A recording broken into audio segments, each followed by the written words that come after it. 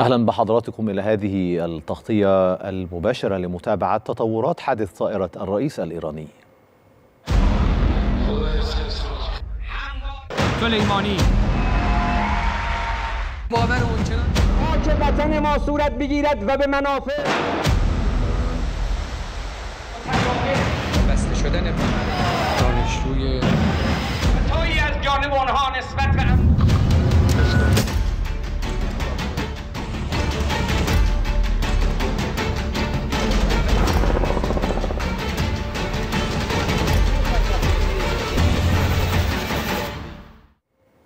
قال رئيس الهلال الأحمر الإيراني إن فرق الإنقاذ ذهبت إلى موقع به رائحة وقود يشتبه بأنه موقع سقوط مروحية الرئيس الإيراني. وقال المسؤول أن هناك خلطا حدث بين رائحة وقود السيارات ووقود المروحيات. من جانبها قالت وكالة أناضول للأنباء إن طائرة أكنجي التركية حددت مصدر الحرارة المشتبه بها من حطام المروحية التي كانت تقل الرئيس الإيراني إبراهيم رئيسي والوفد المرافق له وتقوم السلطات التركية بالتنسيق مع نظيراتها الإيرانية في هذا الشأن حيث شاركتها الإحداثيات التي رصدتها.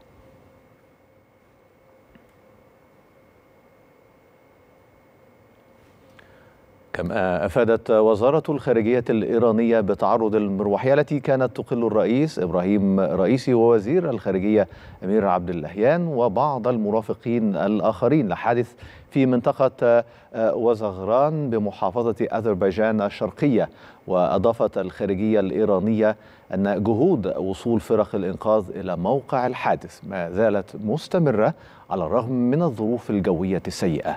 كما أعربت الخارجية الإيرانية عن شكرها وتقديرها للتعبير لتضامن عدد كبير من الحكومات والدول والمنظمات الدولية مع حكومة وشعب إيران وعروض العون والمساعدة لعملية البحث والإنقاذ.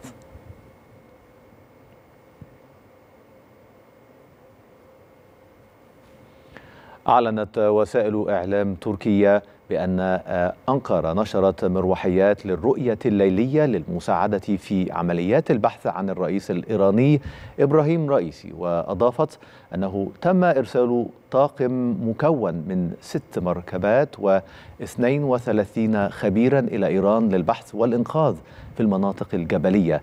كما تم وضع فريق من 15 خبيرا بحثيا في حالة تأهب للانتقال إلى إيران وأشارت إلى أن هناك خمس من الفرق التركية تكاد تقترب من إحداثيات المروحية.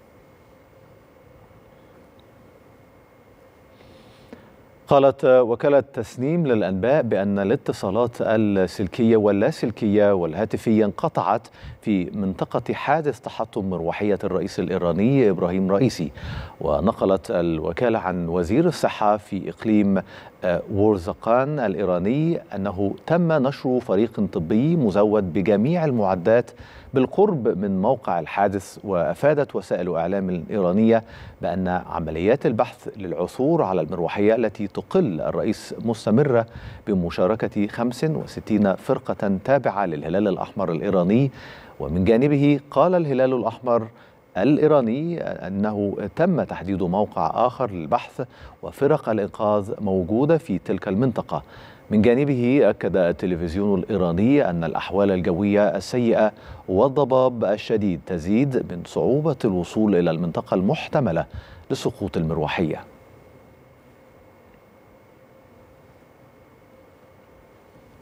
أعلنت وزارة الطوارئ الروسية أنها سترسل 47 عنصرا متخصصا في الإنقاذ في التضاريس الصعبة للمشاركة في عملية البحث عن مروحية الرئيس الإيراني إبراهيم رئيسي. وكان الرئيس الروسي فلاديمير بوتين قد أصدر تعليماته بإرسال مجموعة إنقاذ روسية للمساعدة في عملية البحث على مروحية رئيس إيران. وقال الكرملين إن بوتين يراقب من كثب تطورات عملية البحث ومن جانبها قالت وكالة إرنا إن الرئيس الروسي عقد اجتماعا مع كبار مسؤولي الدفاع والأمن بحضور سفير إيران بشأن حادث مروحية رئيسه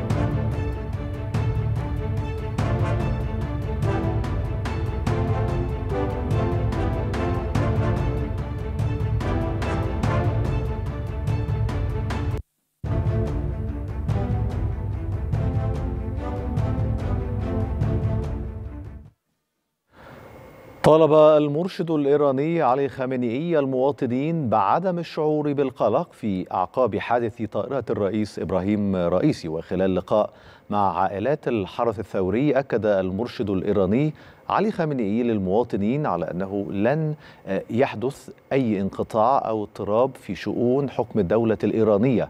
وصفا الحادث بالمزعج.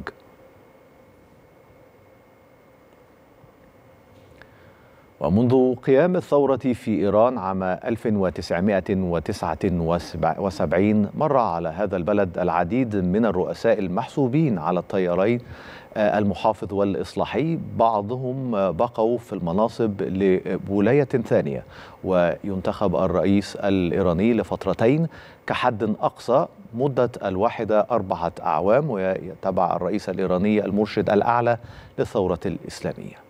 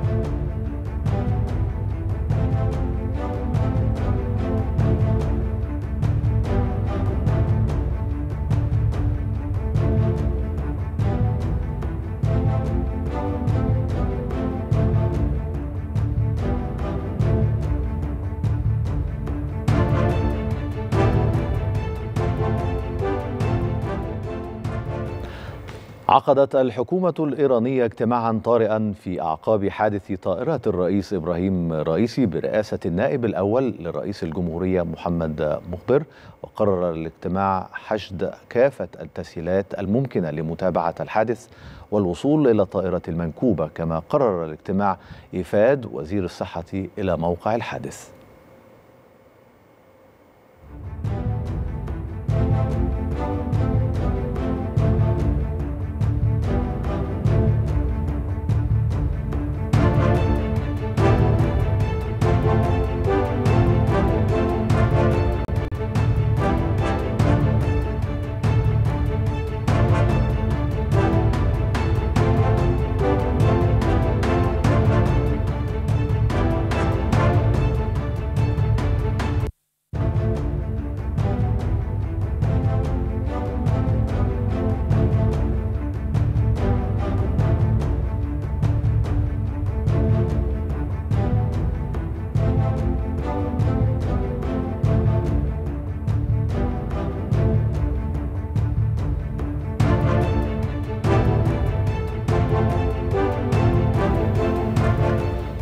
في حالة غياب الرئيس الإيراني يتولى نائبه الأول مهام رئيس الجمهورية مؤقتا ويشغل منصب النائب الأول للرئيس الإيراني حاليا محمد مخبر البالغ من العمر 68 عاما.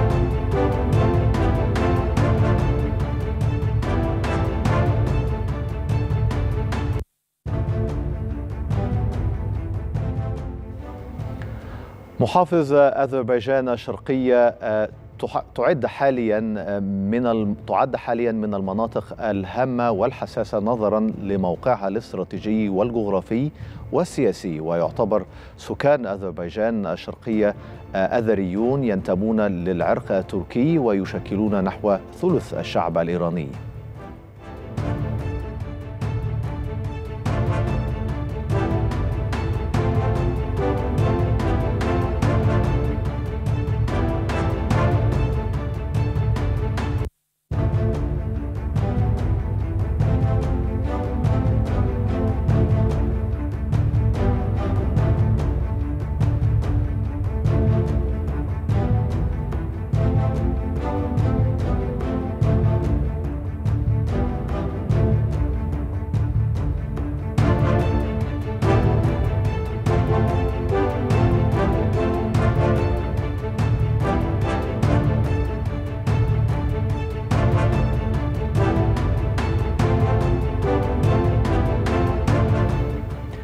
يتابع كثيرون حول العالم حادث سقوط طائرة الرئيس الإيراني إبراهيم رئيس الذي انتخب عام 2021 وفي عهده حدثت الكثير من الأحداث الهامة في تاريخ إيران الحديث وهو واحد من أكثر الرؤساء المحافظين الذين حكموا إيران كما يعد قريبا من المرشد الأعلى للثورة الإسلامية وفي عهده شنت القوات الإيرانية لأول مرة هجوما مباشرا على إسرائيل بالطائرات المسيرة ما تسبب في أزمة إقليمية كادت تتطور لحرب بين الدولتين. هو الرئيس الثامن لإيران. اعتلى المنصب بعد أن خاض مشوارا طويلا وشغل عدة مواقع في السلك السياسي والقضائي. ولد إبراهيم رئيسي في ديسمبر عام 1960 في مدينة مشهد الواقعة شمال شرقي إيران وتوفي والده عندما كان في سن الخامسة وتكفله برعاية رجال الدين الذين أشرفوا على تكوينه وتوجيهه وتعليمه حتى حصل على درجة الدكتوراه وأصبح أحد المقربين من المرشد الأعلى علي خامنئي. عين رئيسي نائبا عاما لمدينة كرج غربية طهران في عام 1980 ثم أصبح المدعي العام فيها بالعام ذاته وكانت قفزته الكبرى بعد خمس سنوات حين تولى منصب نائب المدعي العام في العاصمة طهران ليتم تكليفه بالبت في المشاكل القضائية في ليرستان وكرمنشاه وسمنان بالإضافة إلى العديد من الملفات القضائية. وبعد أن نال مزيدا من ثقة المحافظين عين رئيسي في منصب المدعي العام بطهران بين عامي 1989 و 1994 ثم أسندت إليه مهمة رئيس دائرة التفتيش العامة في إيران حتى 2004 ليشغل بعدها منصب المساعد الأول لرئيس السلطة القضائية ثم يعين مدعيا عاما بإيران عام 2014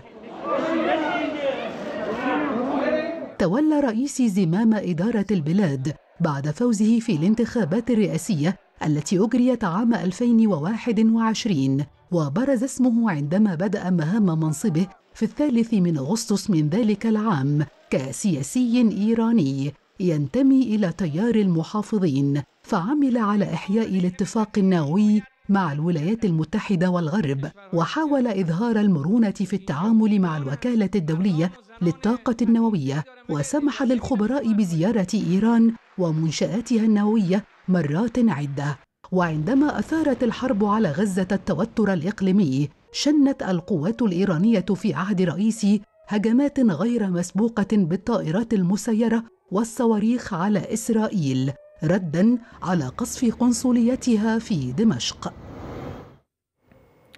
وللمزيد من المتابعة ينضم إلينا من استديوهاتنا في القاهرة دكتور محمد عز العرب الخبير بمركز الأهرام للدراسات السياسية والإستراتيجية. أهلا بك دكتور على شاشة القاهرة الإخبارية. وفرق الإنقاذ تحاول الوصول إلى موقع الحادث. لا زال البحث جاريا حتى الآن لن يحدد بعد موقع أو العثور على إن كانت هذه الطائرة في حالة سليمة أو أصبحت حطام ولكن لنضع ذلك جانبا حتى يتم التأكد من هذه الجزئية.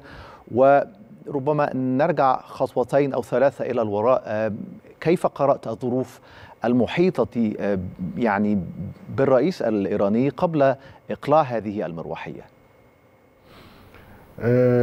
تحياتي لحضرتك. هناك يعني ظروف وملابسات عديدة أه تحيط بحادث فقد طائرة الرئيس الإيراني إبراهيم رئيسي الدلالة الأولى أن ال ال ال القوة الجوية والطائرات المدنية والعسكرية أه الإيرانية تعاني من مشكلات لا أول لها من آخر بسبب عدم القدرة على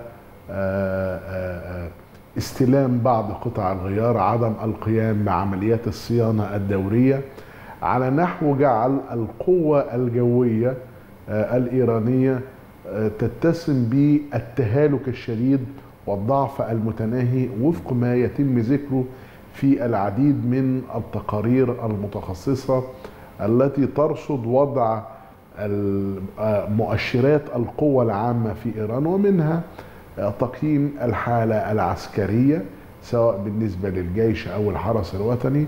وكانت أحد الملاحظات في هذا السياق هي المرتبطة بضعف القوة الجوية وحالة الطيران العامة في داخل إيران لا سيما وأن حضرتك إيران تعرضت لعقوبات مش على مدى سنوات قليلة وإنما على مدى عقود عديدة. جعلت أن هناك تحدي فيما يرتبط بتلك القوة مقارنة بالقيمة المضافة التي تتمتع بها أحد مؤشرات القوى العسكرية في إيران وأعني بها القوة البحرية. طيب يعني دكتور دعني يعني أكمل الفكرة أكمل بس فكرتي طيب تفضل تفضل. آه أعمل فكرتي. النقطة الثانية وهي مرتبطة بضعف البنية التحتية العامة داخل إيران. كما تعلم حضرتك أن هناك تحديات عديدة ترتبط بفرق الإنقاذ التي لم تستطع هنا نتحدث عن فرق الإنقاذ الداخلية الإيرانية التي وصلت ل 46 فرقة ولم تستطع استخدام الطيران للعثور على ما يمكن تسميته بالبقعة الحرارية أو للوقوف على حطام الطائرة أو إنها لا تزال آه، آه، آه، موجودة بحالتها. دي بتفرض إن ال- حالة البنية التحتية آه، آه، آه، تعاني من سوء كثير آه، للغاية آه، والتي تجعل إنه من المتعسر آه، بمكان إيجاد حطام هذه الطائرة في ظل آه، آه، سوء الأحوال آه، آه، آه، ما دون الصفر وده بينقلني بقى للنقطة الثالثة. وهي سوء القدرات لدى العامل البشري الذي يفترض أن ظروف جوية بهذا السوء وطائرة آه، آه، آه، يقطنها أو يرتديها رئيس الجمهورية بالإضافة إلى وزير الخارجية وعدد من المسؤولين في قطاعات مختلفة يفترض آه، يكون هناك درجة أعلى سواء من وسائل التكنولوجيا المتطورة أو درجات أعلى. آه، من الأمان آه، في هذا السياق وده بيطرح تساؤلات مرتبطة بسوء التقديرات والإهمال الخاص بالعنصر البشري المرتبط ب آه، اللي هو آه، آه، سواء اللي موجود كان على طائرة الرئيس أو حتى بالنسبة للمروحيتين اللي هم عادوا بسلام إلى الأهداف. بالضبط يعني هذه هي النقطة التي أود أردت أن أشير إليها. يعني في في البداية آه، تتحدث أن ربما إيران آه، استثمرت في مجالات أخرى على حساب آه، يعني الاستثمار في البنية التحتية وال- والتكنولوجيا الخاصة بطبيعة ال- ال- الموقع الجغرافي الإيراني وكثرة نعم. الجبال والتضاريس وإلى آخره آه، آه، يعني إذا هذه فرضية وتحدثت أنت أيضا عن أن المروحيتان الأخريتان آه، التي كانت تقل الوفد المرافق للرئيس الإيراني وصلت سالمة ماذا تود أن تقول هنا؟ آه، يعني ده بي- بيفرض شكوك لكن ما بيلغيش الفرضية الأولانية اللي هي مرتبطة بالعطل الفني آه، تهالك ال- ال- الطيران المدني والعسكري ضعف القدرات الفنية لدى آه، آه، العاملين في قطاع الطيران المخصص للرئيس آه، ضعف البناء التكنولوجي آه، عدم اتخاذ إجراءات آه، احترازية كافية للتعامل مع سوء الأحوال الجوية وبالتالي منطق أو آه، افتراض إن آه، الوفاة مرتبطة بالظروف المناخية وعدم اتخاذ التدابير الكافية للوقاية. آه، ده بيفسر العامل بدرجة كبيرة هل آه، هناك, لكن هناك- يعني دكتور آه، عامل أو سبب آه، ملح كي تطير هذه المروحية ربما رغم هذه الظروف آه، الجوية؟ آه، والله ما يعني لحد هذه اللحظة يفترض أن تشكل لجنة للبحث لكن في تلك المرحلة بي- بينصب التركيز بدرجة رئيسية على إيجاد الطائرة سواء بحلبتها أو في حال حطامها آه، آه، آه، دي يفترض أن يكون الإجابة مرتبطة بالفريق المعاون أو على الأقل الفريق المصاحب في الطائرتين. وأنا أعتقد إن في أحد اجتماع في اجتماع مجلس الأمن القومي واجتماع الحكومة الذي تم منذ عدة ساعات لابد أن تكون مثل هذه النقطة على رأس آه، أجندة جدول ال- آه، الاجتماعات. لأنه كان من الطبيعي في ظل سوء الأحوال الجوية هذه لم يكن يطير الرئيس. وده بي بي بيثير شكوك حوالين إن ربما في أحد التفسيرات تكون هناك مؤامرة داخلية ضد شخص الرئيس وبالتالي كان من الطبيعي أن آه، آه، تكون طائرته دون الطائرتين الأخرتين هي التي يتم استهدافها. هناك أحاديث حوالين صراع على منصب ال- آه، ال- ال- المرشد الأعلى للثورة الإسلامية وإعداد آه، إبراهيم رئيسي لخلافته مع الأخذ في الاعتبار أن رئيسي يعد من أكثر الشخصيات قربا للسيد علي خامنئي المرشد الأعلى للثورة الإسلامية والرئيس الثالث لإيران. آه، لكن ال- الإهمال الفني وعدم تقدير حالة آه، آه، آه، الحالة السيئة اللي عليها الطيران الإيراني يجي يثير تساؤلات لا أول لها من آخر فيما يرتبط بعدم التجهيز الكامل وعدم ال- ال- التوفير البنية التكنولوجية. الأكثر من كده أنه أثيرت في أحد وسائل الإعلام الإيرانية كما ذكرت وكالة تسنيم أن أحد ضباط الحرس الثوري التقط إشارة إنذار من آه، آه، طائرة الرئيس دون أن يوضح ما هي طبيعة هذه ال- الإشارة. هل هي طلب للنجدة؟ ولماذا لم يتم التواصل؟ وكيف حدث التعثر؟ وبالتالي هناك العديد من الأسئلة الكثيرة التي تنتظر إجابات شافية خلال الساعات القليلة المقبلة. طيب دكتور كيف قرأت يعني تناول آه، الإعلام الإيراني مع الحادث وربما ردود الفعل حتى الآن.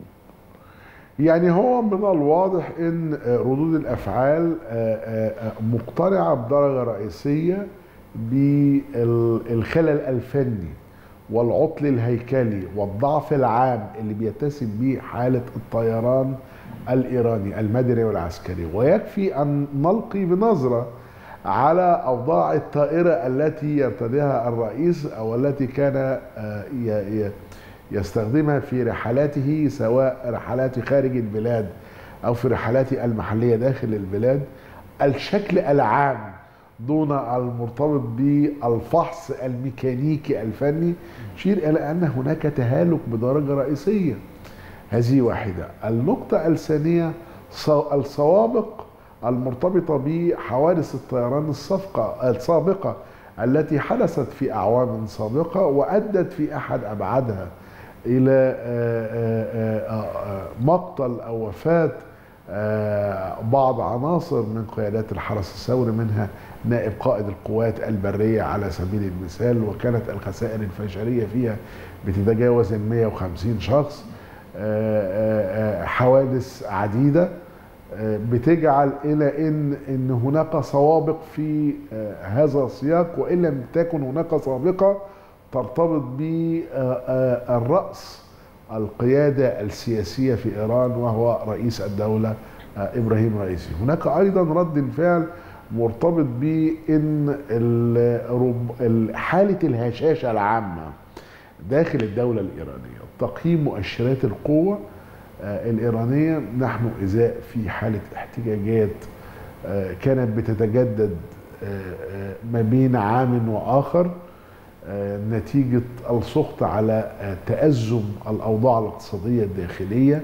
هناك اعتراض على التدخلات الخارجية في الشؤون الداخلية لدول الإقليم وده مرتبط بموارد مالية كان يفترض إنفاقها على الداخل الإيراني سواء على البنية التحتية أو رفع المستويات المعيشية أو إنقاذ الطبقة الوسطى في إيران.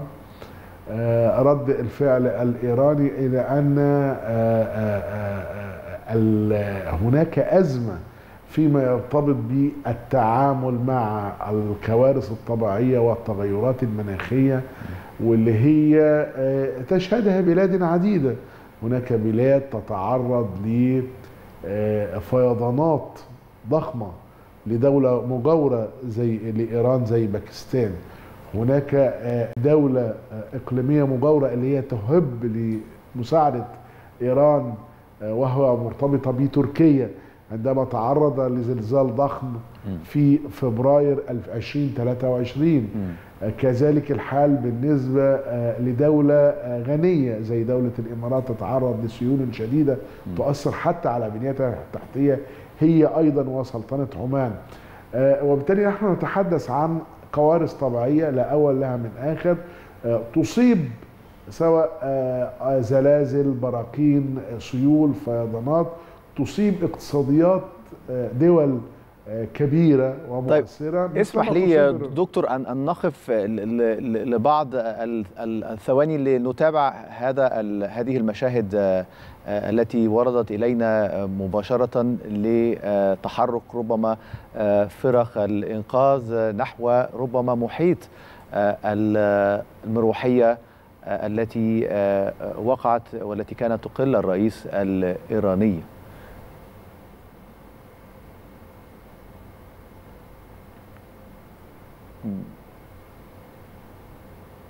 نعم. آه، نعلم أنه هذا التحرك جاء بناء على آه، تنسيق بين آه، تركيا وال يعني المعنيين في إيران خاصة بالصور التي رصدتها المسيرة التركية والتي رصدت ربما مصدر حرارة مشتبه يشتبه أنه لحطام الطائرة التي كانت تقل الرئيس الإيراني هذه مشاهد لبعض من فرق الإنقاذ حسب ما ورد إلينا منذ قليل. تفضل دكتور محمد لاستكمال يعني باقي وجهة النظر. يعني لو حضرتك تذكرني بس في آخر نقطة أنا تحدثت فيها كنا نتحدث أو كنت تتحدث عن الأوضاع الداخلية الحالة العامة والشعبية والسياسية كذلك بالزبط. في ايران في إيران. قبل. وقوع هذه الحادثة وبالتالي ردود الأفعال تتجه لمسألة ال ال ال ال الإخفاق فيما يخص تطوير البنية التحتية الاهتمام بقطاع الطيران سواء لظروف الخاصة بالعقوبات الدولية المفروضة على إيران منذ عقود طويلة أو ترتبط بعدم توجيه الموارد المالية للاستثمار في هذا القطاع بالإضافة إلى عدم التقدير العلمي والتطوير التكنولوجي لمدى خطورة إقلاع الطائرة في مثل هذا اليوم اللي هي ظهرت فيها المشكلات المرتبطة بارتفاع درجات الحرارة ومنسوب السلوج والطيران في بعض المرتفعات الجبلية وده اللي بيفسر إلى أي مدى الصعوبات والتعقيدات اللي بتواجهها فرق الإنقاذ الإيرانية اللي جعلت إن هي تبحث عن حطام الطائرة أو الطائرة بحالتها الطبيعية بحثا عن الأقدام وليس من خلال ما تقوم به فرق الإنقاذ التركية أو عبر الطائرة المسيرة التركية.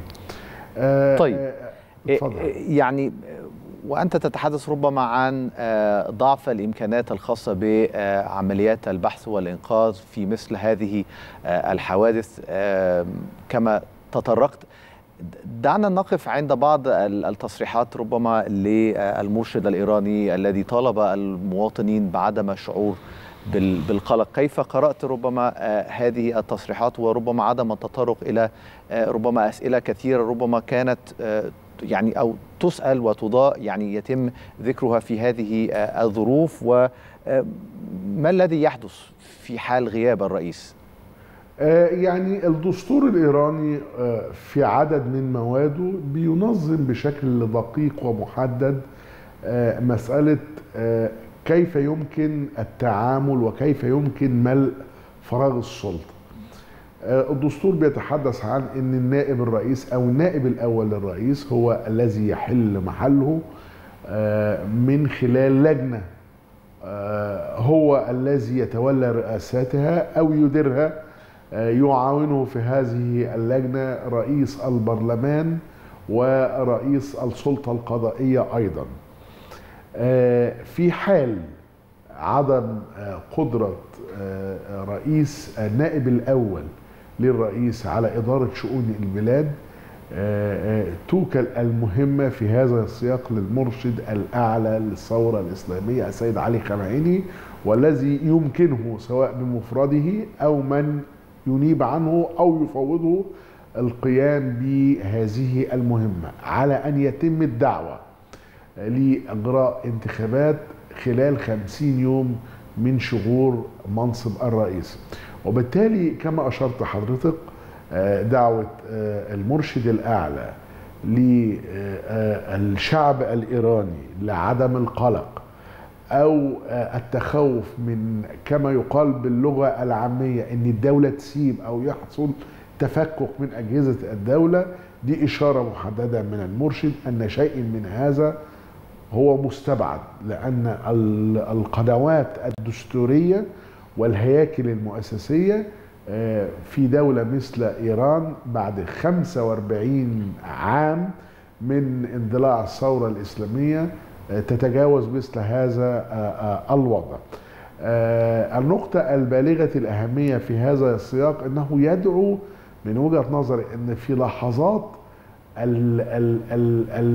آه، التحدي أو التهديد أو الواقع الذي يفرض ضغوطا على مؤسسات الدولة يفترض وفق آه، آه، الع- الع- ال- العقيدة السياسية الحاكمة للمرشد أن يحدث التفاف من جانب القطاعات الواسعة للمجتمع الإيراني حول قيادته الحالية سواء قيادته السياسية أو قيادته الدينية للخروج من هذا الظرف آه، ال- ال- الرهيب نعم، أو يعني- وصفه آه، المرشد الأعلى بالظرف المزعج. طيب يعني تفكك الدولة الإيرانية هو أمر آه، مستبعد حسب تصريحات المرشد الإيراني في حديثه لل- للمواطنين ولكن ما الذي لا يمكن استبعاده آه، بشأن يعني حالة أو بشأن هذا الحادث بشكل عام؟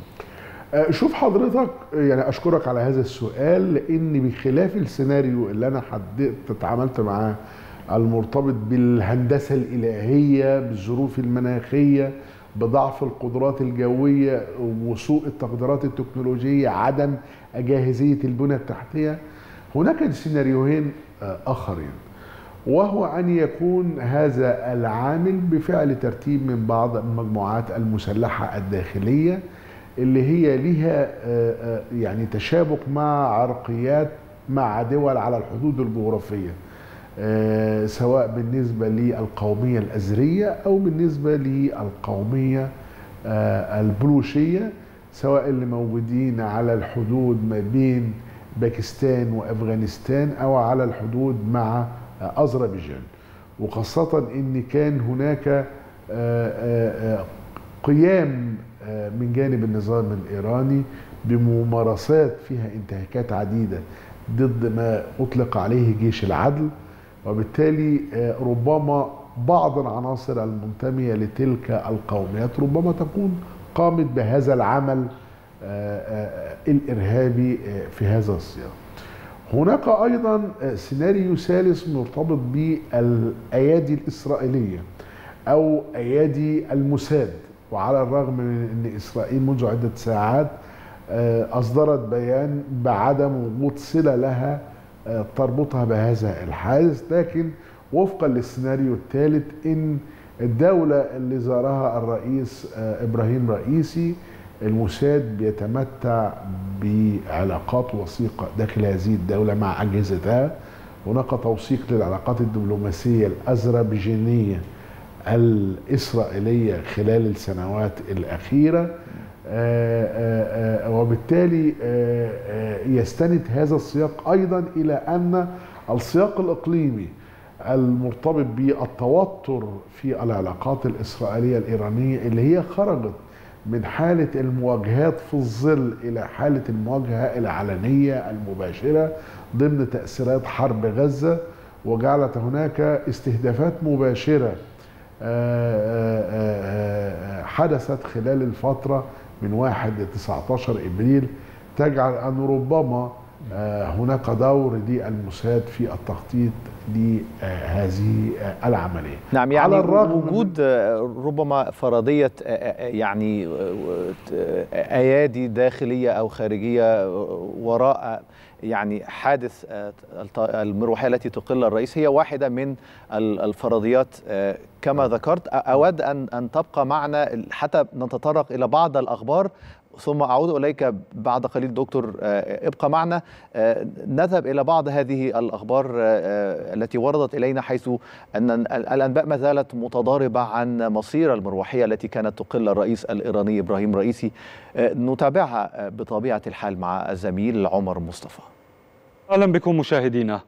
تضاربت الأنباء بشأن حادث تعرضت له مروحية تقل الرئيس الإيراني إبراهيم رئيسي. فيما أحاط الغموض بشأن مصيره عقب الحادث. مروحية الرئيس الإيراني تحطمت بين منجم سنقون وغابة ديزمار بمحافظة أذربيجان الشرقية. تعرف تلك المنطقة بتضاريسها الجبلية وغاباتها الكثيفة ورياحها الشديدة وغالبا ما يغطي الضباب الكثيف المنطقة. الرئيس كان متوجها من مدينة تبريز في طريقه للعاصمة طهران عقب تدشين سد قيز قلعة سي المشترك بين إيران وجمهورية أذربيجان على نهر أراس الحدودي بين البلدين وبحضور نظيره الأذربيجاني إلهامي علييف.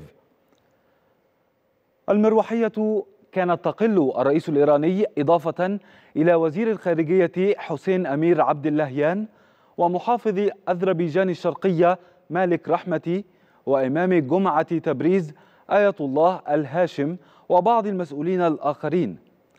المروحية التي كانت تقل الرئيس هي من طراز بل 212 وهي تستطيع قطع سرعة كبيرة تصل إلى 193 ميلا في الساعة لكن مواصفاتها قديمة ولا تستطيع الطيران على مستويات عالية كما أن عملية تحديثها كانت صعبة على الأسطول الجوي الإيراني.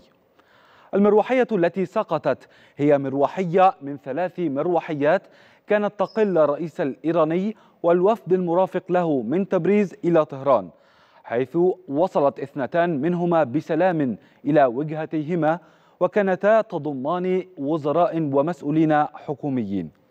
مشاهدينا الكرام كان هذا عرضا موجزا حول موقع سقوط طائرة الرئيس الإيراني إبراهيم رئيسي.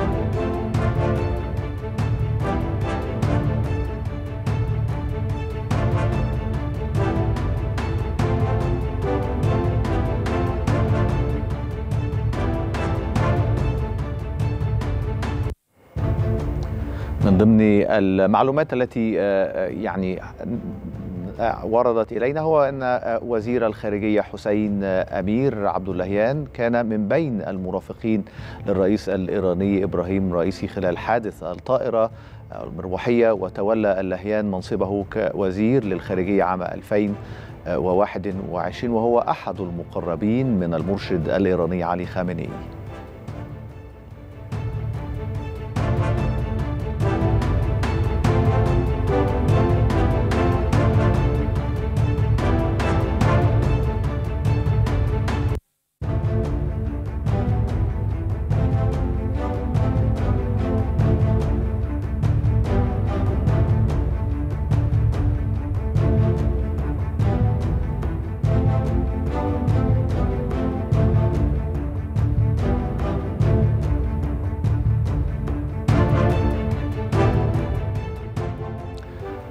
هذا وقد أظهرت لقطات مصورة لمروحية الرئيس الإيراني إبراهيم رئيسي أثناء إقلاعها للمرة الأخيرة من مدينة تبريز وتداولت وسائل إعلام إيرانية طراز الطائرة الهليكوبتر التي كان يستقلها الرئيس الإيراني وهي مروحية هليكوبتر من طراز بل 212 من إنتاج الولايات المتحدة الأمريكية. وقامت إيران بوضعها ضمن برنامج عسكري للجيش الإيراني لتطويرها واستخدامها ضمن سلاح الجو الإيراني.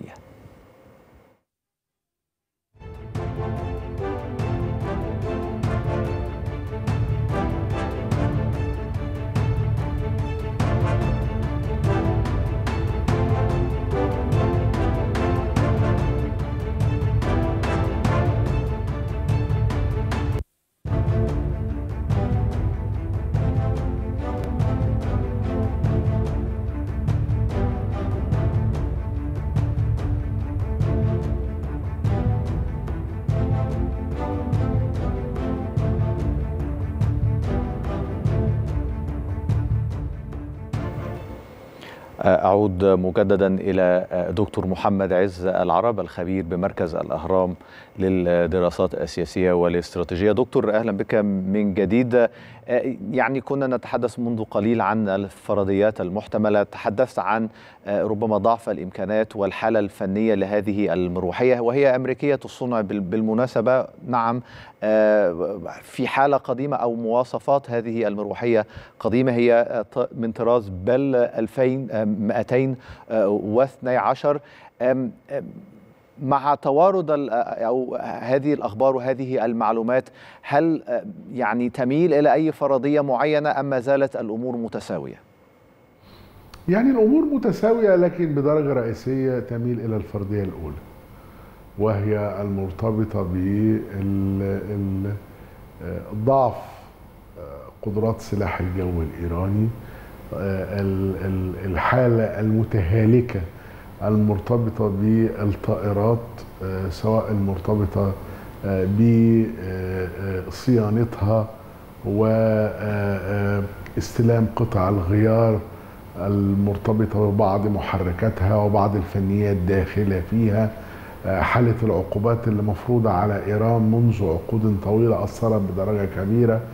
ال ال ال المناطق الجبلية المرتفعة وارتفاع درجات الحرارة جعل كان لابد أن يكون هناك تقديرات بشرية ووسائل متطورة تجعل أن لا يتم الطيران في هذا التوقيت وإن كان هناك لبس فيما يخص أن طائرتين عادت بسلام وطائرة الرئيس هي التي تعرضت لذلك بالإضافة إلى غياب الإحداثيات اللي متخليش أن يتم التتبع الطائرة بدقة بدرجة كبيرة م. وبالتالي أنا أتوقع الخيار الأول بدرجة كبيرة وإن كان خيار الفرديتين يظل قائما بشكل كبير إلى أن يتم الفحص وتشكيل لجنة مش يعني تكون مهمتها الرئيسية ماذا جرى خلال الفترة اللي هي ما بين التجهيز للرحلة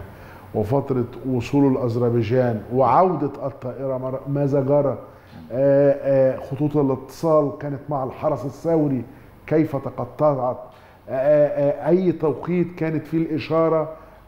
طلبا للنجدة في يعني بالتالي هناك أسئلة لا أول لها من آخر فيما يرتبط لأن من الواضح أن إذا كنا إحنا بنتكلم على البنية التحتية المتهالكة وقطاع طيران ضعيف للغاية إلى أن كمان حتى التقديرات البشرية فيها مشكلة اللي هي تقدر مسألة إلى أي مدى هناك أمر عاجل يستوجب لطائرة مخصصة لرئيس الجمهورية. وتعاني من كل هذا العيوب الظاهرة كما أشرتها حضرتك في التقرير المصور. ويكون هناك إصرار على الطيران. يعني إلى هذا الحد دكتور محمد يعني هناك ضعف في التقديرات البشرية لمروحية تقل رئيس دولة يعني نعم يعني أنت أنت تذكر ذلك ولكن في متابعتك لربما طبيعة المروحيات التي كانت تقل الرؤساء السابقين لإيران هل هناك أوجه من التشابه؟ هل هناك اختلاف؟ هل هناك ملاحظات لديك في طبيعة هذه المروحيات؟ ما أعلمه في رصد المؤشرات القوة في إيران أحد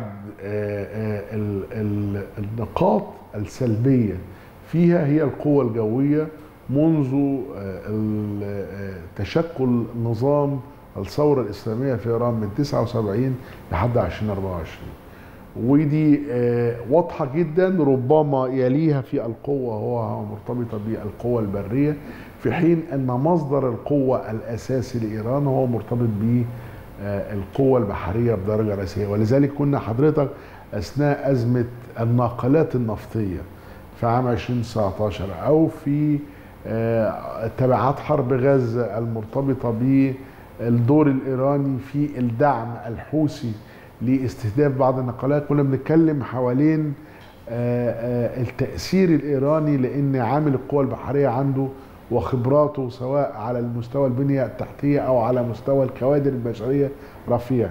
وبالتالي آه، ما جرى ده انعكاس لتدهور في المؤشرات القوى الجوية الإيرانية. آه، جزء تاني مرتبط بالسلوك الإيراني اللي هو هيجعل قطاعات واسعة من الرأي العام والنخبة تعيد النظر مرة تانية في مسألة إلى أي مدى كيف تخرج إيران آه، من آه، آه، سلوكها المزعزع للاستقرار في الشرق الأوسط وكيف يمكن الحوار مع الولايات المتحدة لأن في حوار بالفعل.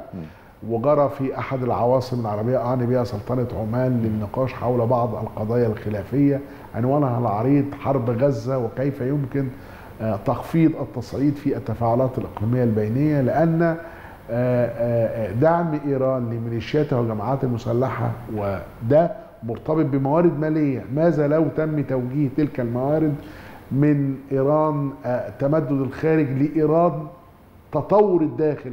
والاهتمام بالأوضاع الداخلية بشكل كبير إعادة النظر في آه، القضايا الخلاف حول البرنامج النووي الإيراني للخروج من بند العقوبات الدولية سواء الأمريكية أو الغربية والإنفاق بشكل كبير على الداخل وده يعالج يعطي دعما للنظام الإيراني لمواجهة أي تحركات واحتجاجات داخلية بدرجة كبيرة. أنا أعتقد أن آه، آه، آه، هناك مراجعات مطلوبة خلال المرحلة المقبلة لكن في الخمسين اليوم اللي جايين هيبقى مطلوب من المرشد الأعلى والنائب الأول للرئيس الإيراني واللجنة المكونة أيضا من رئيس البرلمان ورئيس السلطة القضائية. هو محاولة لنوع من آه، آه، آه، آه، آه، جذب الرأي العام خلف القيادة السياسية.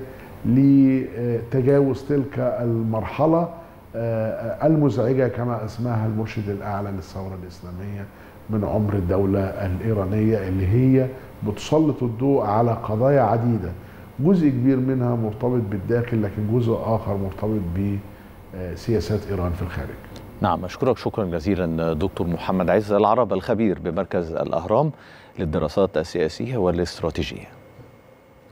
إذا نتابع مع حضراتكم سير هذه التحقيقات وعمليات الإنقاذ بشأن حطام أو العثور على حطام الطائرة أو المروحية التي تقل الرئيس الإيراني. ابقوا معنا.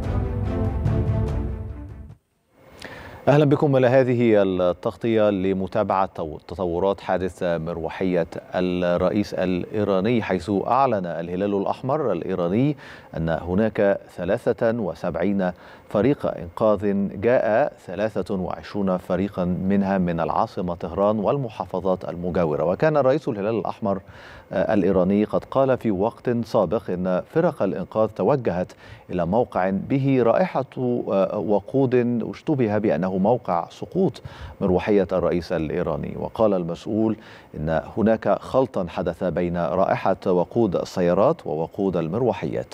وقد توسعت عملية البحث من عدة جبهات مختلفة للوصول للمروحية ووصل إلى المنطقة المحتملة للحادث العديد من القوات الإيرانية المحلية والمطلعين على الغابات لتسريع عملية البحث مع قوات الإنقاذ.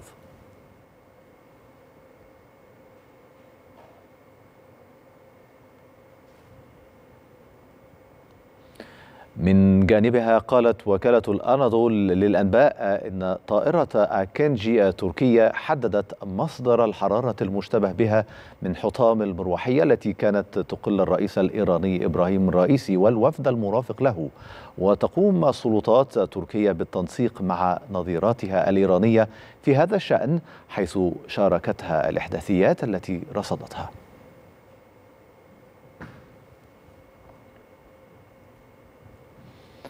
أفادت وزارة الخارجية الإيرانية بتعرض المروحية التي كانت تخل الرئيس الإيراني إبراهيم رئيسي ووزير الخارجية أمير عبد اللهيان وبعض المرافقين الآخرين لحادث في منطقة ورزغان بمحافظة أذربيجان الشرقية.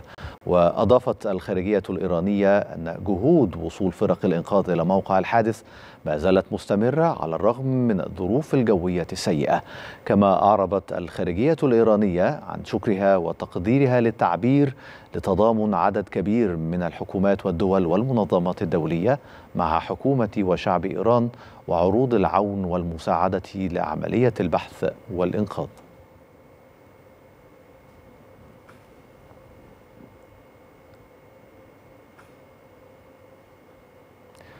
أعلنت وسائل إعلام تركيا بأن أنقرة نشرت مروحيات للرؤية الليلية للمساعدة في عمليات البحث عن الرئيس الإيراني إبراهيم رئيسي وأضافت أنه تم إرسال طاقم مكون من ست مركبات و 32 خبيرا إلى إيران للبحث والإنقاذ في المناطق الجبلية. كما تم وضع فريق من 15 خبيرا بحثيا في حالة تأهب للانتقال إلى إيران وأشارت إلى أن هناك خمسة من الفرق التركية تكاد تقترب من إحداثية المروحية.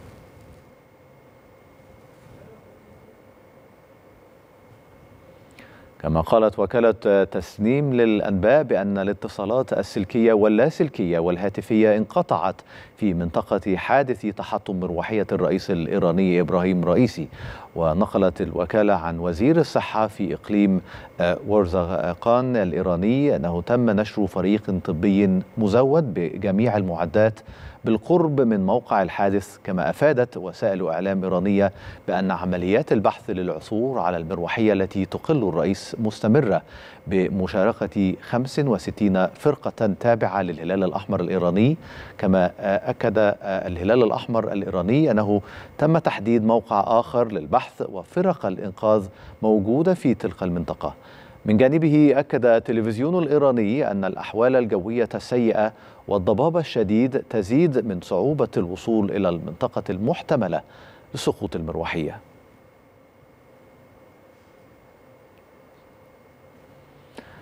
أعلنت وزارة الطوارئ الروسية أنها سترسل 47 عنصرا متخصصا في الإنقاذ في التضاريس الصعبة للمشاركة في عملية البحث عن مروحية الرئيس الإيراني إبراهيم رئيسي.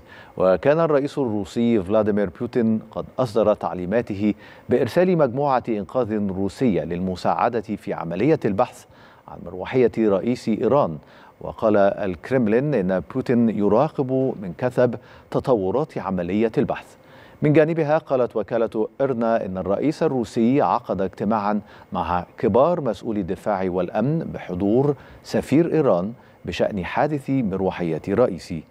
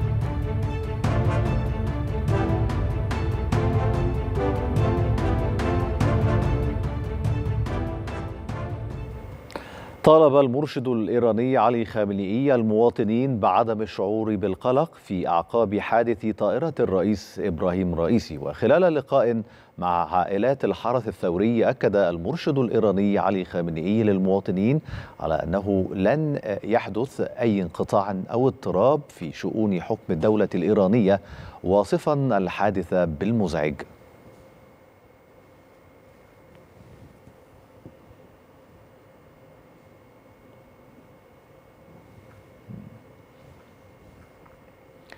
ينضم إلينا من سيدني السيد أحمد الياسري رئيس المركز العربي الأسترالي للدراسات الاستراتيجية والباحث في الشأن الإيراني. أهلا بك سيد أحمد على شاشة القاهرة الإخبارية. كنا نعرض على شاشة القاهرة الإخبارية في الدقائق الماضية. ربما تاريخ ربما الطائرات المروحيات المقاتلة التي ربما تحطمت خلال الأعوام الماضية. ربما ما لفت نظري هو أن تواردت هذه الحوادث عبر الأعوام الماضية بوتيرة ربما متسقة كل عام أو كل عامين. رغم كل هذه الإنذارات لماذا لم تقم إيران أو الجهات المعنية تطوير ما يمكن فعله في هذه أو في هذا المجال خاصة الجانب الذي يخص الطائرات التي تقل الرؤساء الرئيس الإيراني بالتحديد. عفوا حضرتك أستاذ محمد و...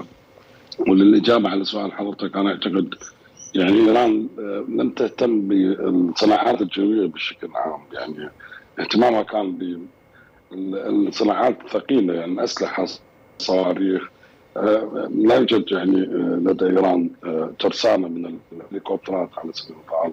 وهي دائما تستعين بالجانب الروسي أو بالدول التي تستورد منها. بخصوص طائرة الرئيس الرئيسي هي الحقيقة يعني من الجيل القديم. تم تطويرها يعني و دعم قدراتها. ولكن الحقيقة التكنولوجيا تطورت أيضا. يعني الآن جزء كبير من مشكلة عدم إيجاد هذه الطائرة هو أن التكنولوجيا الموجودة في داخل الطائرة هي تكنولوجيا قديمة. الحقيقة من فترة 79 تقريبا يعني منذ منذ نهاية عصر الشاه. فلذلك إيران لم يعني أنا وجهة نظري اهتماماتها إذا اعتبرنا صناعة الطائرات أو استيراد الطائرات من هذا النوع ويعني صناعات خفيفة فإيران اهتماماتها كانت بالصناعات الثقيله الحقيقة.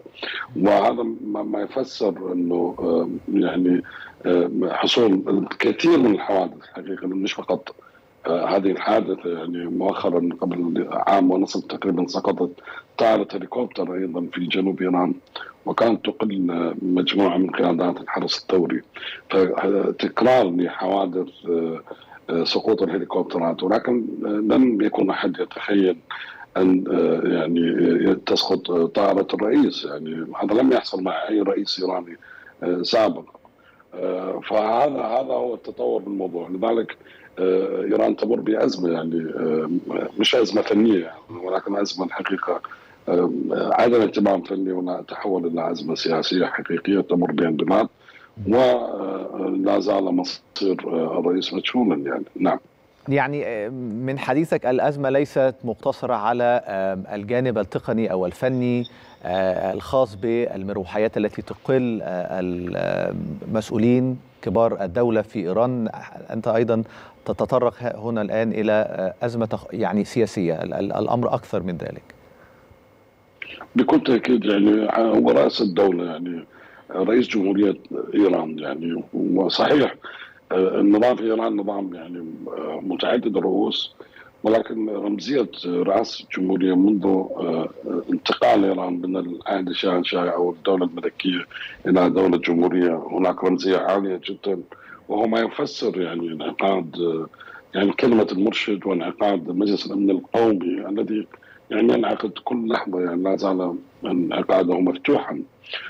وكذلك اشتراك الدول الحليفة لإيران والدول المحيطة منطقة حتى الدول العربية يعني طرحت خدماتها مثل السعودية والعراق وتركيا تداخلت بشكل سريع بسبب القرب الجغرافي يعني منطقة أذربيجان هي منطقة يعني بين تركيا وإيران. فتقريبا تركيا لديها خبرة بمعرفة تفاصيل هذه الجغرافيا ممكن أن تساعد بشكل أسرع لمعرفه يعني مصير هذه الطائرة.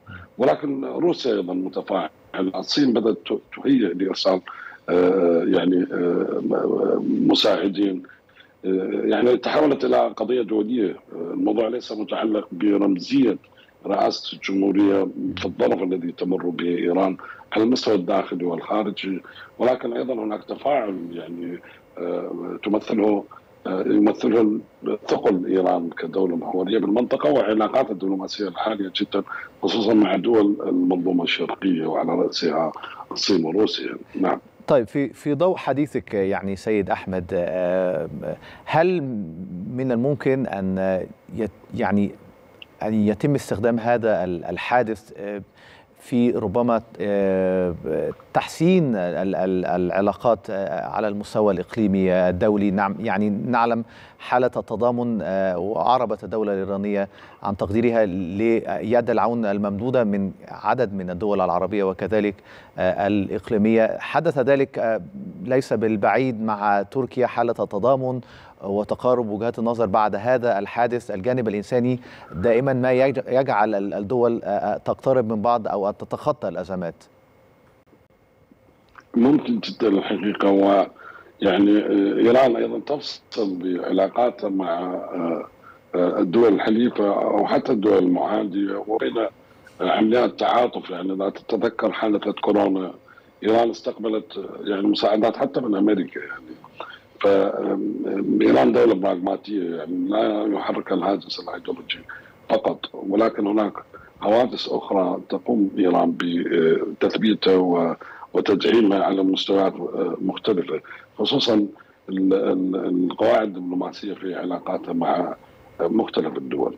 فإيران تتحرك دائما بأكثر من رئيس تتحرك دائما بأكثر من منهجيه وحتى عملية يعني المرشد على سبيل المثال كلمه المرشد أنا تابعتها باللغة الفارسية وهو رجل كان يتحدث عن يعني التطمين المجتمع الإيراني إنه هذه ذهاب الرئيس أكيد يعني وجود نائب الرئيس هو الذي سيقوم بالمهام. ولا هذه الحادثه يجب أن لا تؤثر على التماسك المجتمعي، يعني هناك تخوف داخلي ليس مرتبطا بسقوط الطائرة ولكن هو توقع من الأجهزة الأمنية أن تحدث يعني مظاهرات أو في الداخل الإيراني. فأراد أرادت الدولة الإيرانية أن تصدر رواية التطمين حتى تتابع يعني عمليات البحث. ولا أحد يعرف ممكن يكون هذا الحادث يعني بفعل فاعل. يعني هناك ثلاث طائرات كانت سرب من الطائرات. الطائرتان اللتان حملتا وزير الطاقة ووزير الاسكان وصلتا إلى تبريز بعد أن اشتركت اشتركا جميعا اشتركوا جميعا بالحفل مع رئيس اذربيجان فهذه إشكالية يعني تحديدية امنيه ممكن أن يكون هناك استهداف حصل. سبراني عطل أجهزة هذه الطائرة وساهم باسقاطها لا أحد يعرف الحقيقة التأويلات ستبقى مفتوحة حتى تخرج ايران الرواية الأمنية المتعلقة ب حتى تخرج صندوق روايات هذه أو روايات هذه الطائرة التي سقطت في هذه المنطقة الوعرة. بكل تأكيد هناك بعض الدول متخوفة أن يكون هناك استهداف لهذه الطائرة والذي يؤثر على ردود إيران، إيران بعد أن استهدف في سوريا على سبيل المثال قصفت إسرائيل. فما بالك برئيس الجمهورية اذا تبين أن هناك عملية استهداف من قبل إسرائيل أو أمريكا أو أي دول معادية ومنافسه لإيران. أنا أعتقد أنا لا أريد أن اخوض بالتداعيات القادمة يعني أريد يعني احوالنا أن يكون متعلق بالطائرة ولكن كل التأويلات مفتوحة لا احد يعرف ماذا سيحصل لذلك إيران تقدر يعني هناك حالة من التقديرات المستعجلة لمآلات هذا الحادث. فلذلك يعني بدأت بالتطمين الداخلي بدأت بعملية آه، تبادل آه، التضامن مع الحلفاء ودول المنطقة. ثم اتجهت لعملية آه، فهم ما حصل لرئيس إيران في هذه الطائرة من كوبا يعني. نعم. طيب يعني الظروف المحيطة بهذا الحادث يعني وأنت تتابع أن يعني ال- ال- الرئيس الإيراني كان يقوم بتدشين سد على الحدود الإيرانية آه، الأذربيجانية. هل هذا ال- السد آه، يعني أي ربط بهذا ال- ال- ال- الحادث أهمية هذا السد الحديث حوله؟ يعني البعض يعني آه، يشير إلى أن هناك ربط ما. هي التأويلات ستبقى مفتوحة ولكن أنا على المستوى الشخصي كقارئ للشيء الإيراني أعتقد لا- ليس هناك علاقة بالموضوع يعني. يعني علي لا يستطيع أن هو أيضا يمتلك علاقة قوية بإيران وعلاقة تاريخية. حضرتك تعرف أنه آه، أذربيجان هي شرقي وغربي يعني. هذه المنطقة آه، كانت جزء من إيران في العهد القاجاري على سبيل المثال. يعني حتى العهد السوفيتي يعني تم فصله. فاذربيجان هي آه، ثقافيا إيرانية يعني وهم يقدرون الانتماء التاريخي لهذه البقعة. ثم آه، آه، ال- يعني حضور ال- الأقلية الأزلية المهم جدا وهي أقلية مؤثرة في الواقع الإيراني. يعني حتى مرشد الثورة الإيرانية الخامنئي هو ينتمي إلى هذه الأقلية. فهم أقلية تمسك بالسوق وتمسك بالسلطة أيضا. يعني مؤثرة جدا. لذلك دائما إيران تحرص على أن تنظم علاقاتها مع تركيا. آه، حتى لا تستخدم تركيا آه، يعني آه، حضورها القومي في الداخل الإيراني مقابل أن تبتعد تنهى إيران عن استخدام حضورها المذهبي في الأقلية العلوية في تركيا. وهناك حالة من الضبط والتوازن ال- ال- الجغرافي بين إيران وتركيا. وهذا ضبط تاريخي منذ عهد الدولة العثمانية والصفوية. مش مش جديد يعني. فانا لا أعتقد إنه أذربيجان يعني ستذهب باتجاه آه، استخدام يعني إيران. هذا يعني الدخول بحرب مباشرة قطع هذه العلاقات التاريخية. وإيران ستكون يعني بشكل مباشر ستدعم أرمينيا في آه، صراعها مع أذربيجان وهي الآن تقوم بدعم أرمينيا بشكل غير مباشر بسبب يعني الخلاف المنهجي بين الحكومة الإيرانية كحكومة آه، يعني آه، تستند على قواعد فقهية وحكومة أذربيجان حكومة شيعية أيضا ولكنها تستند على قواعد قومية يعني هي الأقرب إلى تركيا. فلذلك يعني حالة الارتباط المذهبي بين الشعبين وأنا أشرحها من كل تفاصيلها لكي ادحض فرضية أن تقوم أذربيجان في هذه اللحظة باستهداف إيران، يعني هذا أمر خطر جدا. آه، ولكن كل الأمور مفتوحة. لا أستطيع لا أحد يعرف. ممكن ان خصوصا أن هناك علاقة بين أذربيجان وإسرائيل آه، من جهة أخرى وإيران بأكثر من موقع. يعني كانت منزعجة من هذا التمدد في هذه العلاقة. ولكن بشكل عام أنا أقلل من من فاعلية أن تكون أن يكون لأذربيجان يد بهذه الحادثة وممكن أن أقول أنه الصراع بين إيران وإسرائيل قد يكون له دور. إذا آمنا بفرضية الاستهداف فقد يكون هي عملية مخابراتية تم الاستهداف السبراني لأجهزة هذه الطائرة.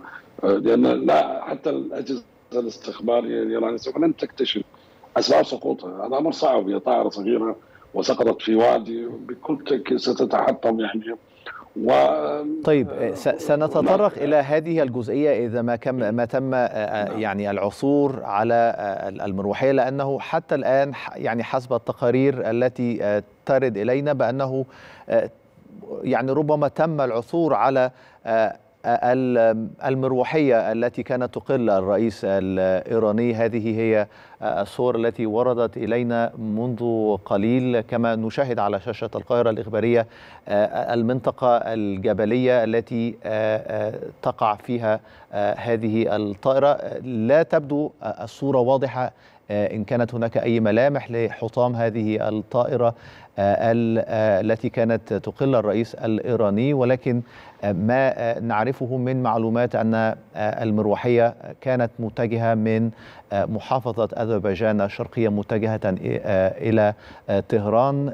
وهذه المنطقة معروفة بأنها منطقة جبلية وعرة بها تضاريس وأيضا سوء الأحوال الجوية. حتى الآن هي ما كانت وراء عدم إمكانية العثور على هذه المروحية رغم وجود عدد كبير من فرق الإنقاذ الإيرانية المحلية عدد كبير منها اتجه من طهران إلى محافظة أذربيجان الشرقية بالتنسيق أيضا مع السلطات التركية التي أرسلت مروحية مسيرة لرصد أماكن وجود هذه المروحية التي كانت تقل الرئيس الإيراني. وكان منذ قليل قد ورد إلينا معلومات وتقارير تشير إلى أن هذه المروحية أو هذه المسيرة التركية قد رصدت حرارة يشتبه أنها لحطام مروحية الرئيس الإيراني ومرافقيه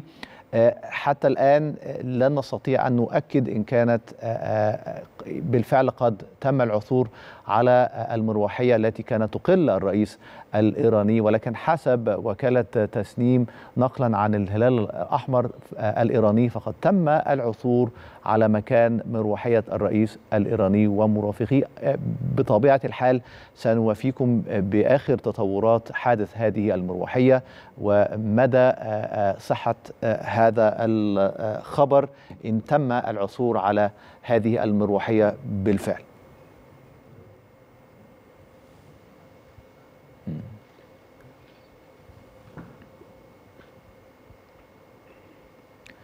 إذا يعني سيد أحمد طبقا لهذه الرواية ف يعني نقلا عن وكالة الوكالة تسنيم تقول عن عن الهلال الأحمر الإيراني بأنه تم العثور. كنت تتحدث منذ قليل أن يعني على معلومات الخاصة بأسباب وقوع هذه المروحية. سنتعرف سنتعرف عليها ولكن حتى أن تتضح هذه الجزئية متابعتك لردود الفعل المحلية داخليا داخل إيران ما هي ربما الرواية الأكثر انتشارا داخل الأوساط الإيرانية؟ يعني أنا تابعت على سبيل المثال يعني وكالة تسليم كيهان يعني لم أهتم كثيرا بالصحف الإصلاحية مثل صحيفة اعتماد أو زوبان أو صاحبه طاب وتابعت أيضا تصريحات مثل تصريح داوري الذي رضا داوري الذي هو كان يعني رئيس الدائرة الإعلامية للرئيس أحمد النجاد كان أسرع من أطلق تصريح بأن الطائرة يعني سقطت والرئيس مات. هناك يعني ردود الفعل على مستوى الخطاب الإعلامي هي تهيئة الأجواء لاستقبال يعني وفاة الرئيس. وحتى هناك احتفال كان بمولد الإمام رضا بالكثير وهذا يعني احتفال مهم تقوم ب يعني الجوامع والمؤسسات الدينية يعني تهتم بمولد الإمام رضا. تم تعطيل الاحتفالات هذه الاحتفالات بسبب هذا الموضوع. يعني أي إن هناك عملية تهيؤ لاستقبال خبر حزين يعني. فهذا الجو العام من مختلف الاتجاهات إنه يعني نجاة الرئيس صعبة جدا. وثم أتت كلمة المرشد الذي كان في اجتماع مع عوائل الشهداء وقال إنه الدولة ستسير. وهذه كلمة الدولة ستسير. أيضا تؤكد فرضية إنه موت الرئيس أو يعني المجموعة التي كانت في الطائرة. لأنه لو كان هناك أمل أو بصيص أمل بإنقاذهم لما قال المرشد يعني لما ذهب باتجاه موضوع سيرورة الدولة وإشغال موقع رئاسة الجمهورية، فإذا ايران تتهيأ لإعلان حالة الحداد بحسب وجهة نظري. ثم يعني بعد هذا الاعلان ستعلن النتائج الاستخبارية والأمنية الفنية المتعلقة بأسباب السقوط. إذا كان هناك أي أسباب يعني السيناريو الأوضح والذي تريد أن تصدره الإدارة الإيرانية في هذه اللحظة هي الضباب وحالة الأرصاد الجوية آه، المتعثرة التي أدت بشكل مباشر لإسقاط هذه الطائرة. ولكن الفرضيات الأخرى والسيناريوهات الأخرى لا زالت حاضره يعني سيناريو الاستهداف أيضا حاضر ولكن لنقول آه، ليس مقدما يعني بالدرجة الثانية. والدرجة الثالثة إنه آه، ممكن أن تكون هناك جهات داخلية يعني تداخل تداخل داخلي أو جهة داخلية معارضة. نحن شاهدنا مثلا مجموعة النمور على سبيل المثال التي قامت باستهدافات داخلية للكثير من المواقع الامنيه المهمه في الداخل الإيراني. توسع ل يعني الطلاب المعارضون بعد حادثة مهسا امينه على سبيل المثال أنا عبرت عنها باعلان ثورة الحجاب يعني. نعم. وكل هذه والتعقد الاقتصادي التعقيد الاقتصادي بعد فرض بايدن لعقوبات جديدة أيضا هذا يلقي بظلاله على الداخل الايراني فهو داخل متفاعل الحقيقة ولا أحد يعرف هل ستأخذ حادثة سقوط أو موت إذا لم ينقذ الرئيس رئيسي هذه التفاعلات إلى أي اتجاه؟ هل إلى اتجاه صدام أم إلى اتجاه الوئام يعني كما حصل بقضية استهداف الجنرال سليماني في العراق نعم أشكرك سيد أحمد نعم. على هذا الطرح وهذا الرصد للاحتمالات المختلفة حول حادث المروحية التي كانت تقل الرئيس الإيراني. أشكرك من سيدني سيد أحمد الياسري رئيس المركز العربي الأسترالي للدراسات الاستراتيجية والبحث في الشأن الإيراني.